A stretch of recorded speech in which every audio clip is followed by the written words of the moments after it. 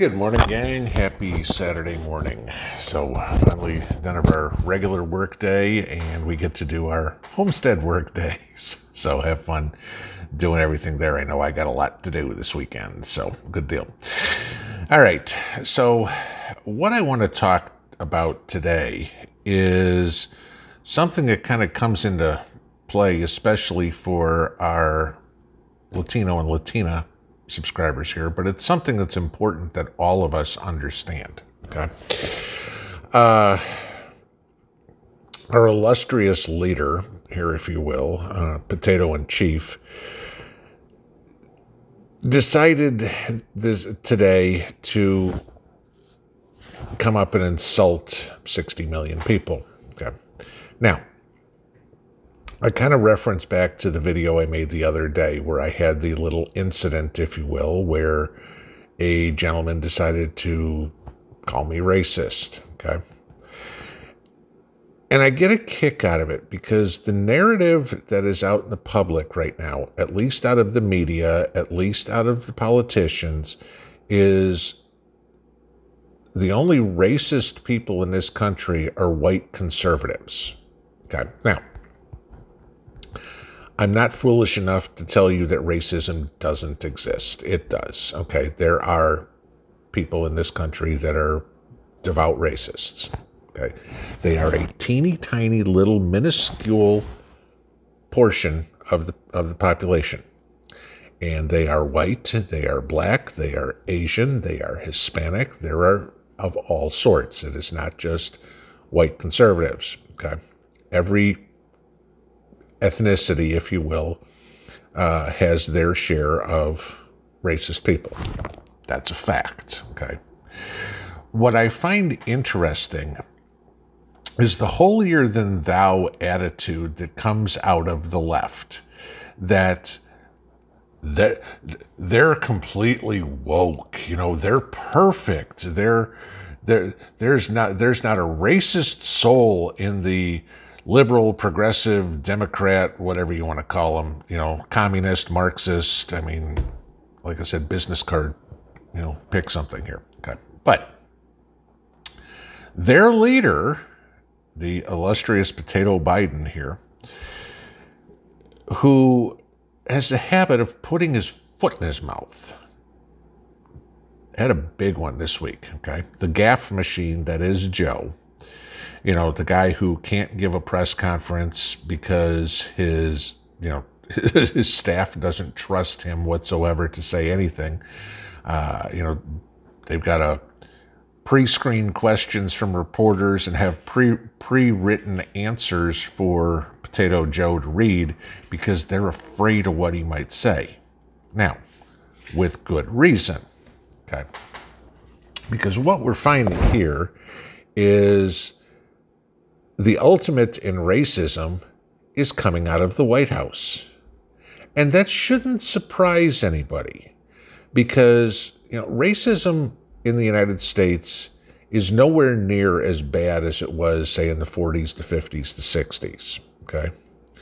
But it's also nowhere near as good as it was prior to 2008. Okay.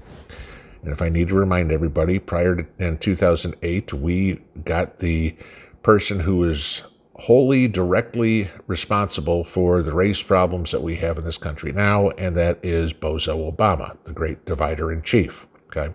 For eight years, all Obama did was blame everything on racism. Okay. Now, you know, the part he keeps forgetting, and the rest of us know, is, you know, he was half black, black father, white mother. Okay.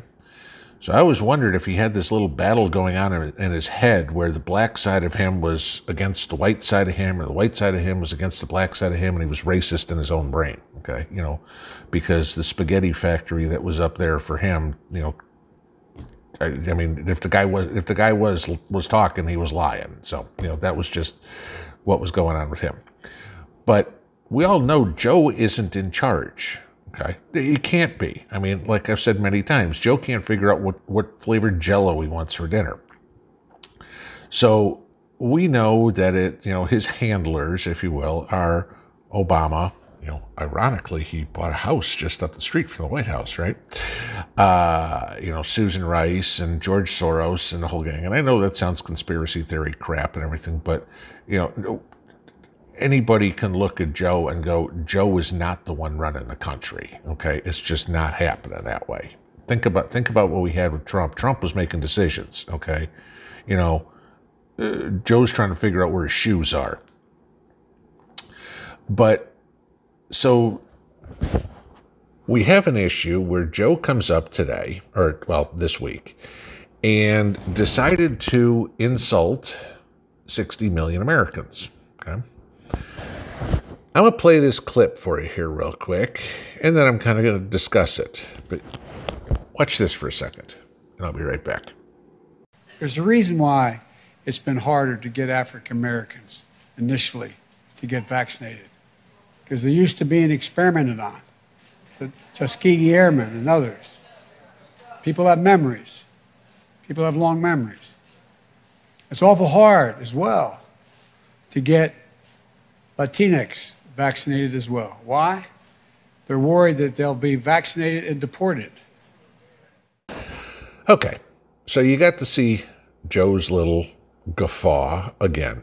Now, I will give him the part with talking about uh, African Americans and the Tuskegee Airmen and having you know experiments done on them. That's accurate. Okay, that's complete bullshit that our government ever did it. Okay, Joe might want to look in the history books and see which party did it. Uh, but you know that would happen to be the one that he's a member of. Go figure. Okay. You know, it's kind of like the old Planned Parenthood thing. It always, it, it just absolutely dumbfounds me that, you know, the Democrats support Planned Parenthood because, after all, the founder of Planned Parenthood, her objective by creating the company, if you will, was to eliminate the black population from the United States. Okay. That was, that was the stated mission of Planned Parenthood. And yet, the Democrat the Democrats are calling everybody else racist. Go figure. They're supporting a, com- a company that's stated mission is to get rid of blacks. Okay, just putting that out there. But so Joe today, as you watch the video, with this quote of "It's awful hard as well to get Latinx." I love how he uses the woke term, vaccinated as well. Why? They're worried they'll be vaccinated and deported. Now, think about that for a second. There are 60 million Latinos and Latinas in this country. Okay. Two thirds of them are native born American citizens. Okay. That would mean one third of them are first generation here. They are either they're immigrants, okay, which is fine. A majority of them came here legally, which is fine. They're you know, green card, American citizen, whatever it would be, but they're here legally. Yes, we all know that there are plenty of illegals. And I mean, it's somewhere, I think, around 10 or 12 million. Okay.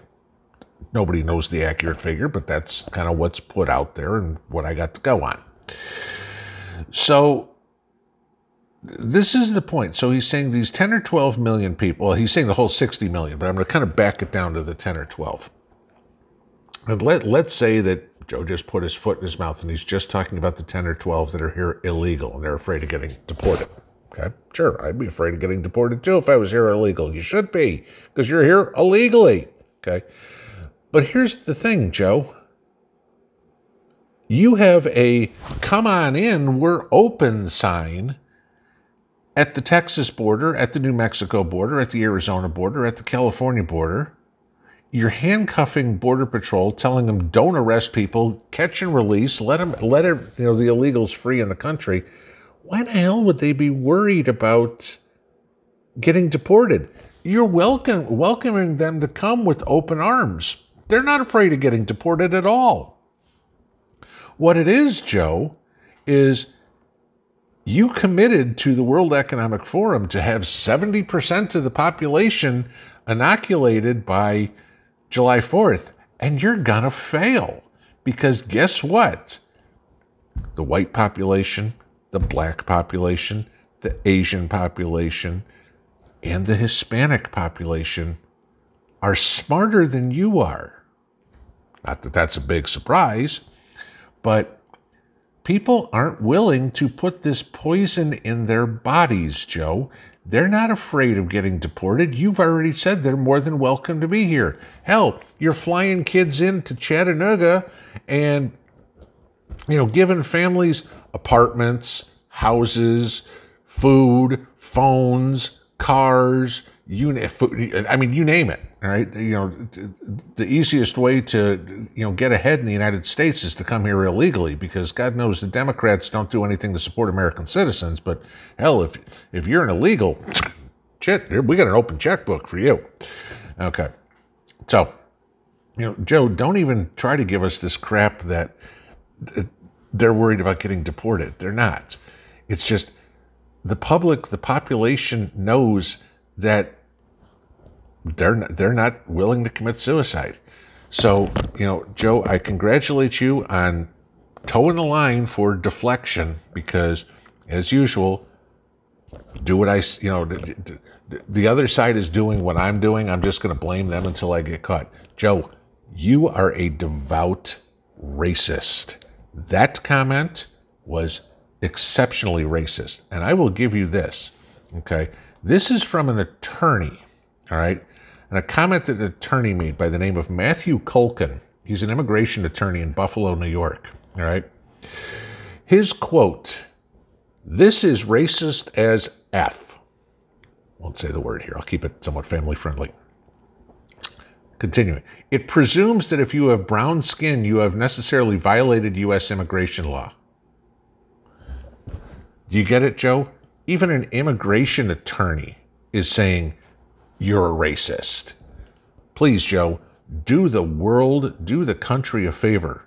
Resign today. Take Kamala with you. Take Nancy with you. Take Chuck with you. You're the leader of the Democrat Party. Please do do the entire world a favor and say, I am dissolving the Democrat Party effective immediately, and we are uh, abdicating every position in government we have in order to save the country because, Joe, you are destroying this country. You and your party are the worst thing that has happened to the United States ever. And I stand by that one. That's a fact. Have a good Saturday. Pinball out.